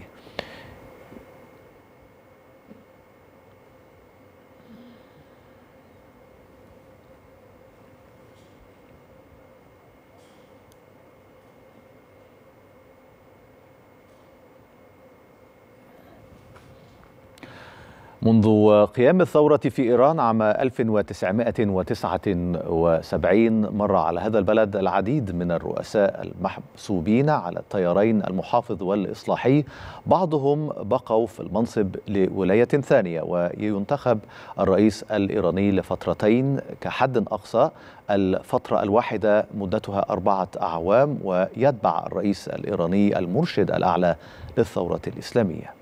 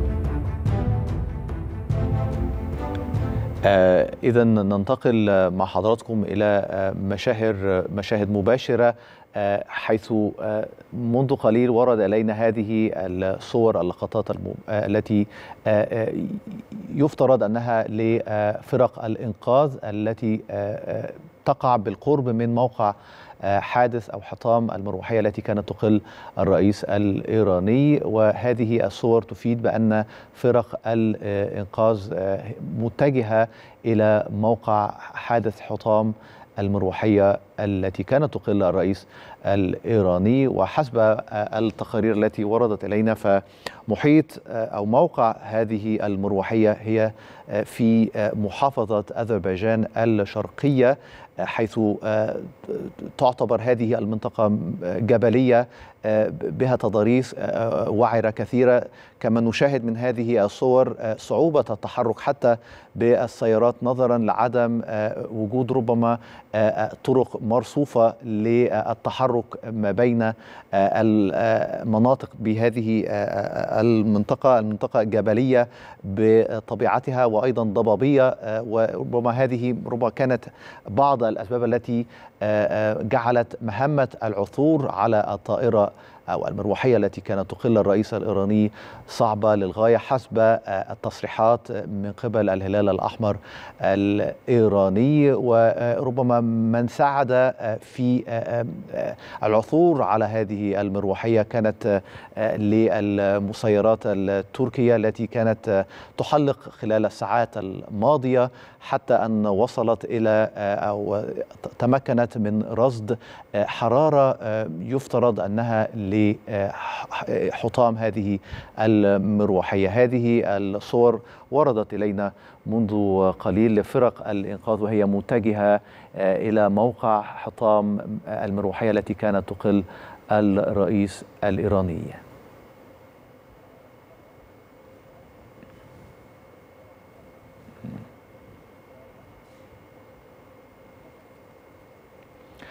عقدت الحكومة الإيرانية اجتماعا طارئا في أعقاب حادث طائرة الرئيس إبراهيم رئيسي برئاسة النائب الأول لرئيس الجمهورية محمد مخبر وقرر الاجتماع حشد كافة التسهيلات الممكنة لمتابعة الحادث والوصول إلى الطائرة المنكوبة كما قرر الاجتماع إيفاد وزير الصحة إلى موقع الحادث. وللمزيد من التحليل والمتابعة ينضم إلينا من بيروت سيد مازن السماك الخبير في شؤون الطيران سيد مازن أهلا بك على شاشة القاهرة الإخبارية بواقع متابعتك لحادث مروحية الرئيس الإيراني ما هي المعلومات المتوفرة لديك أو ما هي الملاحظات الموجودة لديك في ضوء هذا الحادث؟ يعني طبعا صباح الخير اولا لحضرتك للمشاهدين.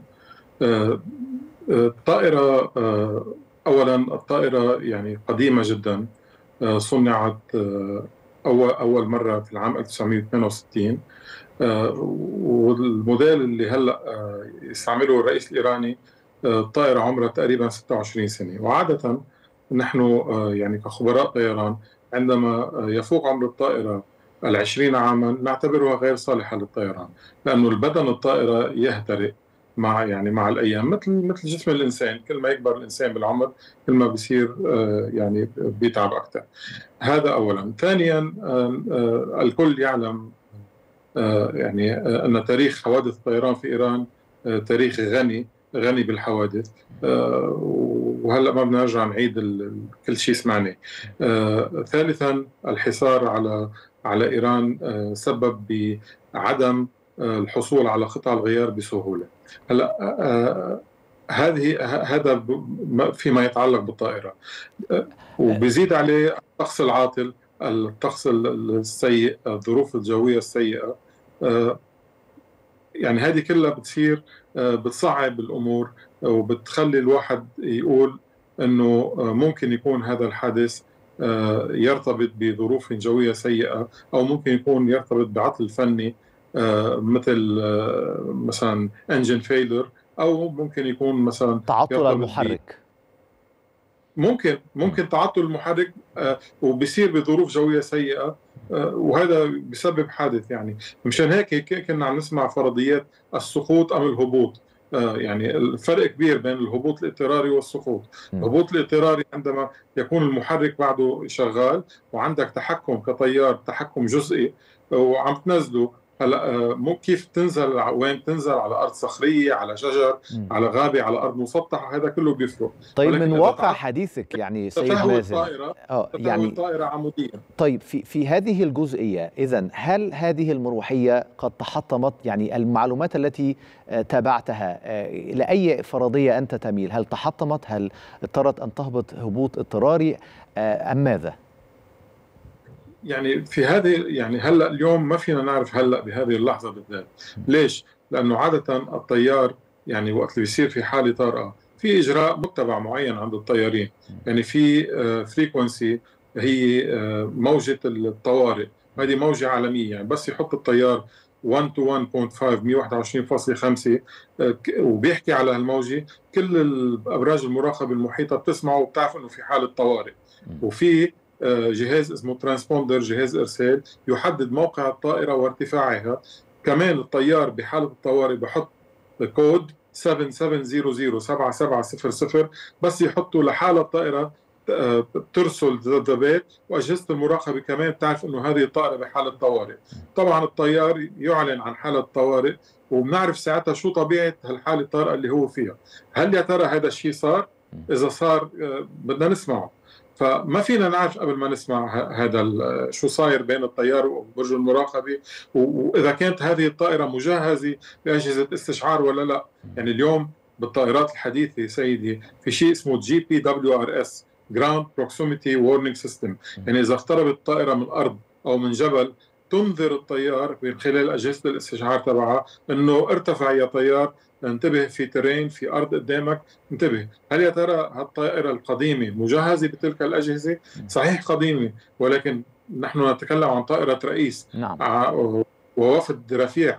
معقولة يعني قد ما يكون في حصار وقد ما يكون في مشاكل بإيران يعني من المستحيل أو من الصعوبة بمكان أن أن يكون الحصول على أجهزة حديثة في طائرة رئيسية أنه ما شغلة صعبة بتصور طيب الطيار الذي آه، يعني كان يطير بهذه المروحية آه، هل لم يتمكن هل لا يمكن أن أن يقوم بإرسال أي معلومات لبرج المراقبة أو لأي جهة آه، إن كان آه، لل- للتعرف أو لإخبارهم بما هو يحدث في تلك الحالة أو في تلك اللحظة قبل وقوع سقوط آه، اضطرار للهبوط يعني ما الذي من المفترض أن كان يحدث؟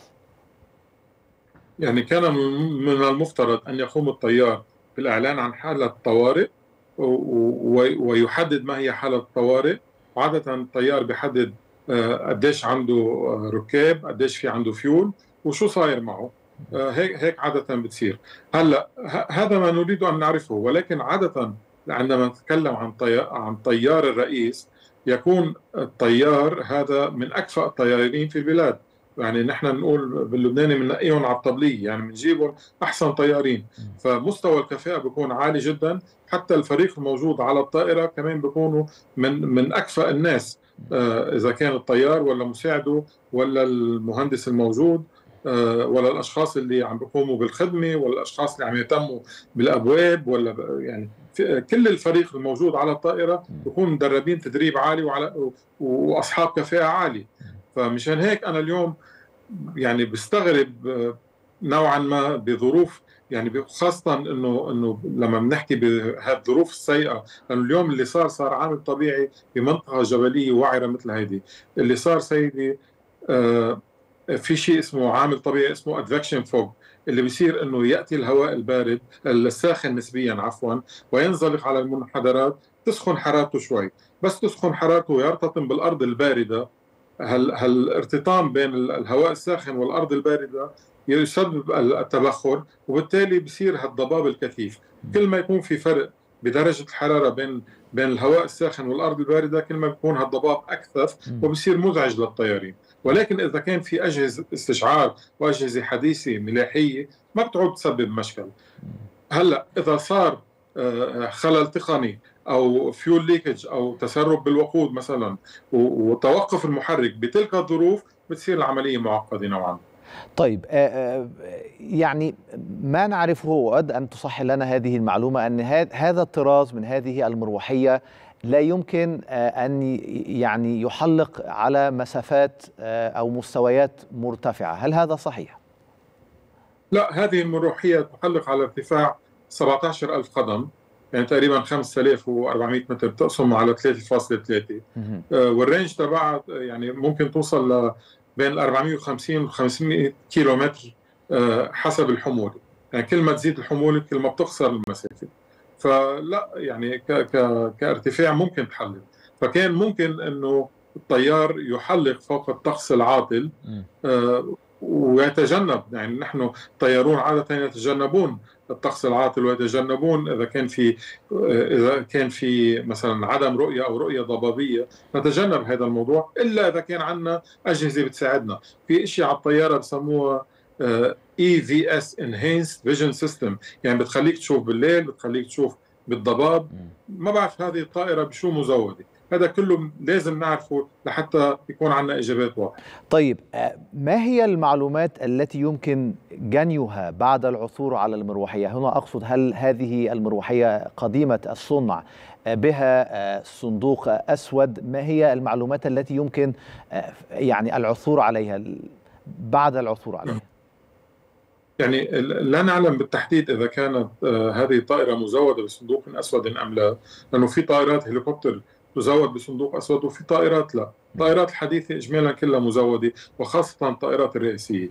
ولكن اللي بأكد لك إيه إنه فيها شيء اسمه ELT electronic locator transmitter يعني هذه الطائرة فيها أنتين بتبث بعد بعد الحادث آه، بتبث على ترددات معينة وين ال location تبعها بيلتقطها يعني المسعفون أو الأشخاص اللي- اللي يعني بال- بالإدارة أو أو بأبراج المراقبة بيحددوا موقع الطائرة. هذه هذه فقط مرتبطة بتحديد يعني الإحداثيات هذه فقط تساعد على العثور على موقع الطائرة. ليس ف... ليس الإدلاء أو آه، آه، تسجيل آه، ما دار ما- من حديث أو آه، كلام أثناء هذا قبل أو أثناء آه، يعني ال- ال- الحادث يعني. صحيح صحيح. الكلام والحديث اللي بيصير بين الطيار وبرج المراقبة مسجل طبعا ولكن هذا ملك برج المراقبة. ما بيكون يعني موجود آه، معمم. ه- وهذا ال ELT اللي خبرتك عنه بس بيحدد موقع الطائرة. هلأ آه، حدد القطر البحث بمدى 2 أو 3 كيلومتر واللي هي عادة مسافة مش كبيرة بالبحث عن الطائرات. آه، بتكون المسافات عادة كبيرة كثير ولكن عندما نتكلم عن منطقة جبلية ووعرة بهذا الشكل بتصير هذه عملية صعبة وخاصه كنا بالليل في ظلام دامس آه، كان في مطر كان في ثلوج كان في وحول وكان في انزلاقات وتسلق فالأمور صعبة. هلأ ما رح تبين الطائرة أنا برأيي الشخصي إلا ما يروح هال- هالضباب هذا واللي ببلش هلأ هلأ مع ساعات الصباح الأولى. طيب هذه الظروف ال- الجوية والطبيعة الجغرافية لهذه المنطقة التي أقلعت منها مروحية الرئيس الإيراني. بواقع خبرتك في هذا المجال مجال الطيران هل هي كانت ملائمة آه، للإقلاع؟ آه، أنا لو كنت أنا الطيار كنت رفضت الإقلاع ب- بتلك الظروف الجوية بكل بساطة. اليوم الطيار هو صاحب القرار الأول والأخير. آه، بي بي يعني بي يا اما بالقيام بتلك الرحلة أم برفضها. هلا طبعا اليوم مش عم نحكي على رجل أعمال أو على زبون أو إلى آخره عم نحكي على رئيس جمهورية إيران ووفد رفيع المستوى. ما بعرف قديش الطيار كان آه، انسأل بهذا الموضوع أو استشير بهذا الموضوع أو كان له رأي بهذا الموضوع. هذه شغلة آه، يعني كان ما فينا نعرف هلأ شو صار بالضبط طيب هل يمكن لرئيس الدولة أن يعني نحن أيضا لا نتبنى يعني فرضية بعينها على حساب الأخرى بس هل يمكن لرئيس الدولة أن آه، ربما آه، يفرض على الطيار آه، أن يتحرك حتى وإن كان ال- الجو غير أو ال- ال- الطبيعة الجوية والطقس غير ملائم؟ يعني هو بالنهاية رئيس البلاد ويمكن طبعا أن يفرض ولكن اليوم سلامته مش أهم. آه، طبعا إذا كان الطيار عنده الوعي الكافي والمسؤولية الكافية المفروض يجي يقول للشخص اللي طالع معه إذا كان رئيس جمهورية ولا كان مين ما كان يقول له هذه الرحلة غير آمنة. آه، ساعتها القرار عنده. ولكن آه، عادة الطيار هو اللي بيأخذ القرار. هلأ ما ننسى أنه اليوم كان كان الوفد يتألف من ثلاث طائرات اثنين عادوا إلى تبريز. ففي كمان علامة استفهام إنه ليش طائرة الرئيس واللي فيها أكفأ طيار ما عرفنا شو صار معه. هذا هذا طيب. الاستفهام طيب يعني أنت ذكرت يعني أيضا كانت هناك يعني مروحيتان أخريتان وصلت إلى يعني المكان المستهدف أو المكان التي أودت الوصول إليه عدا المروحية يعني الرئيس الإيراني هل من تفسير لذلك؟ صراحة لا نملك تفسيرا في الوقت الحالي قبل الاستماع إلى المحادثات بين الطيارين وبرج المراقبة. أنا تصوري يعني يعني إنه هنا أقصد هل هل طبيعة المروحيتين الأخريتين مختلفة عن مروحية الرئيس من حيث التقنية الإمكانات الطراز وإلى آخره؟ يعني عادة طائرة الرئيس تكون الأكثر حداثة وتكون الأكثر تجهيزا. بالأجهزة الملاحية الحديثة وتكون الأكثر راحة هيك عادة. وهدوك طائرات المرافقين. فمفروض أنه يعني ما يثير الاستغراب أنه المرافقين طائرات عادت عادتا إلى تبريز عم نحكي عن الطائرتين وطائرة الرئيس اختفت. فما مفروض أنه تكونوا هوليك الطائرات مجهزين بشكل أفضل من طائرة الرئيس. ونحن نتابع هذه المشاهد للقطات مختلفة فيما يبدو هو محيط حادث مروحية الرئيس الإيراني. يبدو أن يعني مرتفعات المرتفعات وارتفاع الجبال يعني لا أعرف إلى أي مدى يصل ولكن هل هذه ربما أيضا واحدة من الأسباب؟ هو كثرة المرتفعات هل هناك احتمالية ان أن أن تكون قد اصطدمت هذه المروحية بأشجار رغم مع كثرة هذه الضبابية كما ذكرت؟ ممكن كثير أن تكون قد اصطدمت بجبل. آه يعني ممكن. لأنه إذا كان في ضباب كثيف والطائرة غير مجهزة باللي تكلمنا عنه يعني ال enhanced vision system اللي بيخليك تشوف بالليل أو بالضباب أو غير مجهزة بأش... بأجهزة استشعار بتقول لك ارتفع أو بتقول لك انتبه في terrain في أرض pull up pull up هذه عادة هيك بيكون. آه ممكن يكون صدم بجبل. ما مش شايفه. يعني آه هذا أمر واقع. طيب. والاحتمال الآخر إنه تكون الطيار قد فقد السيطرة على طائرته لأن المحرك قد توقف لسبب ما أو بسبب خلل فني ما وسقطت تلك الطائرة. فهذا ما نعرفه هلا. طب هل هناك فرصة للنجاة يعني في حال أن مثلا يعني الطيار لاحظ أن الطائرة بها عطل فني ولن تتمكن من الاستمرار في الجو أن تحلق في الجو. هل هل من مدة زمنية يمكن النجاة في هذه الحالة؟ هل هل, هل هذه المروحية بها ربما وسائل الطوارئ يعني لل وليس هبوط اضطراري ولكن ال ejection يعني ما يطلق عليه اللي هو القفز في حالة الطوارئ. لا أعتقد إنه في هذه تلك الطائرة مجهزة باللي عم تتفضل فيه، عادة الطائرات الحديثة هلأ صارت مجهزة خاصه الطائرات ال VIP الرئاسيه في فيها تنزل بالباراشوت لحالها يعني. إذا صار مسار تنزل بالباراشوت تفتح الباراشوت تنزل الطائره بشكل هيك ناعم. هلأ هذا يتوقف على طريقة الهبوط إذا كان هبوطا أو طريقة السقوط إذا كان سقوطا. والفرق بين الهبوط والسقوط فرق كبير جدا. وين تم الهبوط أو وين تم السقوط كمان هذا كمان شيء كثير سؤال كبير. هل تم على أرض مسطحة؟ هل تم على صخور؟ هل تم على أشجار؟ هذه كلها بتحدد إذا كان في أمل للنجاة ولا لا. وطبعا نحن في سباق مع الوقت وكل ما نتأخر كل ما بتصير الأمور أصعب وأصعب. طيب آه، يعني آه، ورد إلينا آه، هذا ال- الخبر آه، نقلا عن آه، آه، رويترز نقلا عن مسؤول إيراني الذي أفاد بأن طائرة الرئيس آه، قد احترقت بالكامل. هذه هي آه، يعني آخر ما آه، قد وصل إلينا من رويترز نقلا عن مسؤول إيراني بأن طائرة الرئيس الإيراني قد احترقت آه، بالكامل في حادث التحطم.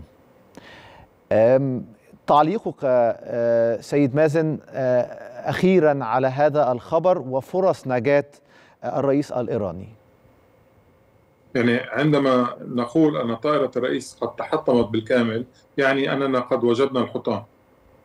هل هذا مؤكد أم لا؟ لا أعرف إذا كان الحطام قد وجد وهو محترق يعني بيكون ممكن آه، صار في يعني على ال على ال impact على الوقت اللي صار فيها ال crash آه، طبعا الفيول الموجود بالطائرة ممكن إنه يعمل ignition ويشتعل وبالتالي يشتعل. آه، بدن الطائرة آه، وكل الاحتمالات واردة صراحة أشكرك على هذه المداخلة من بيروت السيد مازن السماك الخبير في شؤون الطيران. شكرا لك. إذا مشاهدينا مع هذا الخبر العاجل الأخير الذي ورد علينا من رويترز نقلا عن مسؤول إيراني بأن طائرة الرئيس الإيراني قد تحطمت بالكامل في محيط الحادث نتابع وإياكم مستجدات هذه الأخبار التي ترد إلينا بعد قليل ربما سنتابع ما إذا تم العثور على ما بداخل الطائرة ما فرص نجاة الرئيس الإيراني في هذه الحادثة. كل الاحتمالات ما زالت مطروحة ولكن سيتم الإفادة بكل ما هو جديد في هذه الحادثة وتطورات حادث مروحية الرئيس الإيراني. ابقوا معنا في هذه التغطية.